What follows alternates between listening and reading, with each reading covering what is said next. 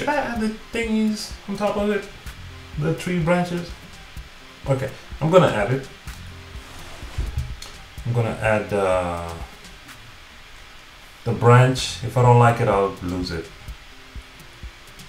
And you can tell me whether you prefer it with or without. But I think we're pretty much done.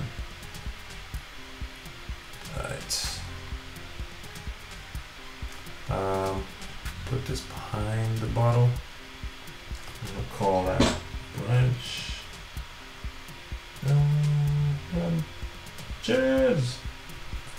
Learn how to spell, young fella.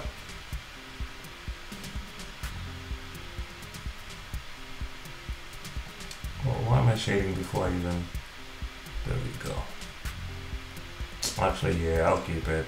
It looks, it looks original, rather than just a bottle sitting there. Besides, Bob Ross likes to draw uh, happy little trees, so it actually makes sense.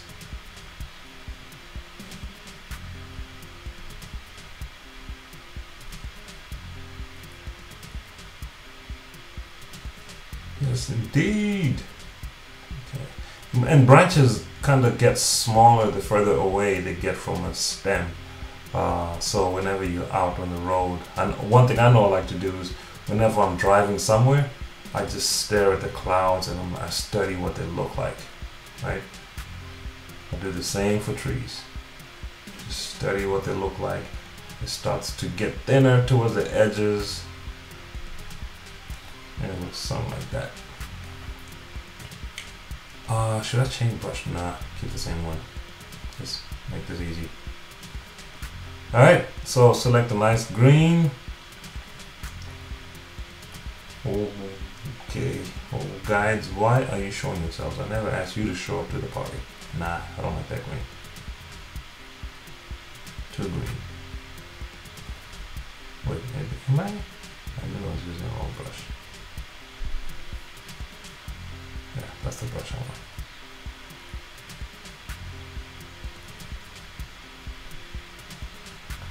Now, when it comes to brushes, you, you can um, search online for uh, different kind of brushes that that exist, and uh, you can use you can pretty much use anything because there's brushes for like leaves, there's brushes for grass, there's brushes for clouds, smoke, dust particles. I mean, it is non it is endless.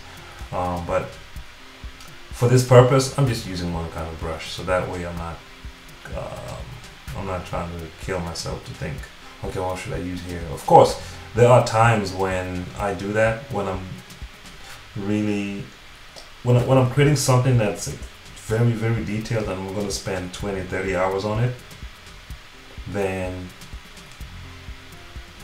then that's when I actually um, use different brushes for different things right? Because some brushes are good for skin some brushes are good for um, you know uh, different surfaces.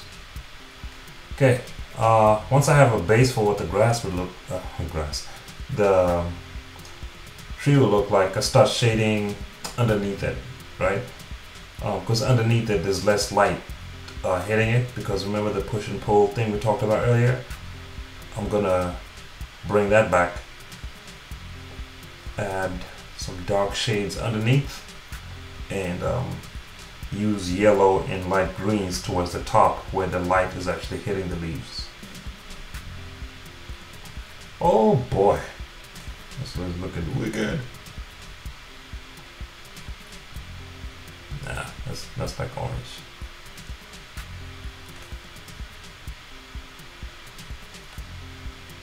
Okay, there we go. Happy little trees.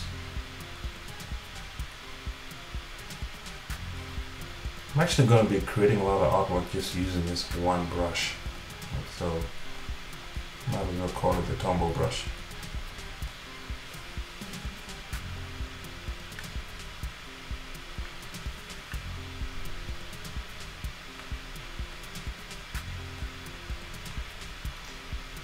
Okay.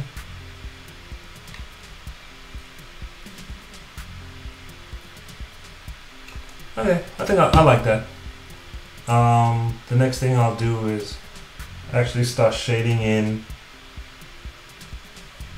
some darker edges for them. Darker and lighter edges of the branch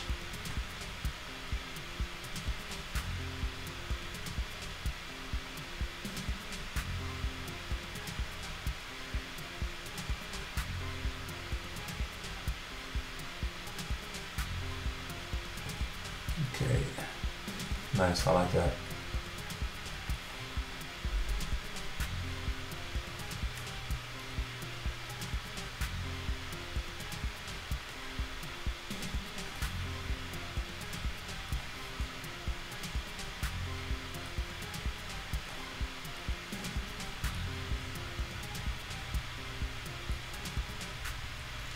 Real good.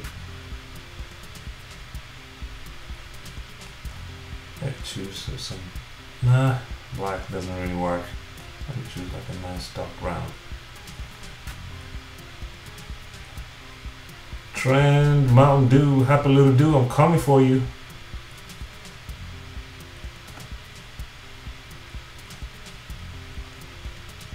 Okay, um, I like the way that's looking. I think the, what I think. Final step would be to shade, to actually add some shadows on the ground where the stuff is sitting. Um, choose a nice, hmm, let's see, dark brown. Man, we've had a lot of browns today. What can brown do for you? Nice, okay, I like that.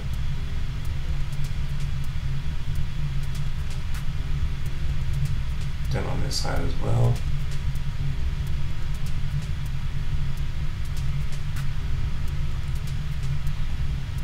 I think like that. So that way the, the shadow is darker towards um, where it's and, and closer to the object that the light is being um, cast upon. This needs to be even darker so that it stands out. So the edges of the hut stand out more. Because the hut is bigger, so yeah, like that. That as well. Then just some scatter shadows to where the trees would, the leaves would be blocking light. Make this slightly bigger.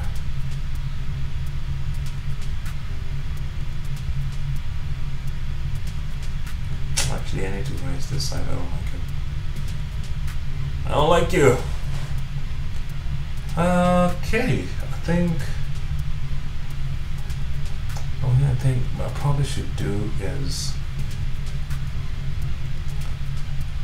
this green. Let me add that the shade of green up here because it's a bit too light.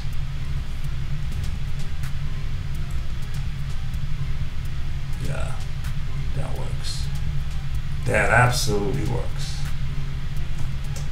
And um, final step, I will add some little birds, some little birds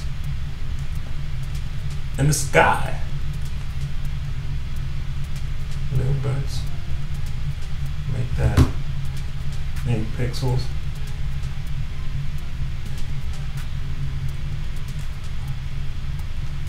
They always fly in a pattern, so I'll make a pattern.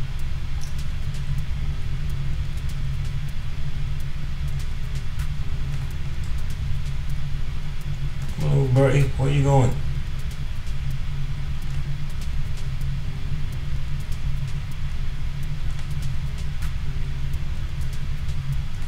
Then one that's lost.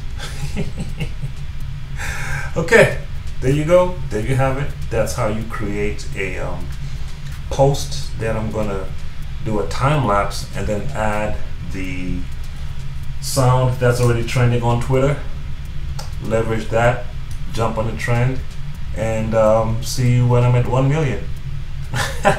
Go ahead, hit the subscribe button, notification bell to make sure you know that I've added a new video and I'll be creating more content like this. So, with that said, have a great time. Peace out. Today we're painting some happy little Mountain Dew bottles. We'll paint a little dew here, one right next to it. Like I always say, everyone needs a friend. A little dew here, one there.